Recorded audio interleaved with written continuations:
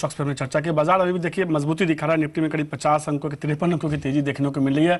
वापस से दिन के ऊपर स्तर के आसपास ही ट्रेड करा जल्दी से एक सेक्टर देख लेते हैं।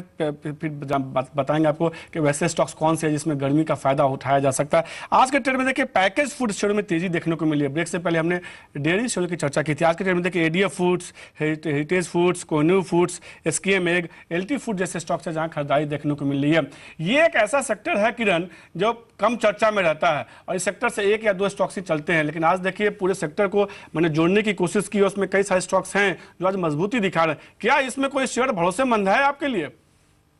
भरोसा रखना ही है तो हेरिटेज फ़ूड में ही रखना चाहिए। चार्ट पैटर्न बहुत ही शानदार है। जो बड़ा मूव हमने करीबन फरवरी के स्टार्ट में देखा था, उसके बाद ये स्टॉक मिड मिड फरवरी में देखा था। उसके बाद ये स्टॉक कंटिन्यूसली एक साइडवेज ट्रेंड में था और आज वापस इसमें अच्छे वॉल्यूम्स के साथ अच्छा मूव देखने को मिल रहा है। तो मुझे लगता है कि 1110 के स्टॉप लॉस के साथ ये ट्रेड इनिशिएट करना चाहिए और टारगेट के लिए इलेवन के टारगेट देखने को मिलेंगे अगले एक हफ़्ते के अंदर।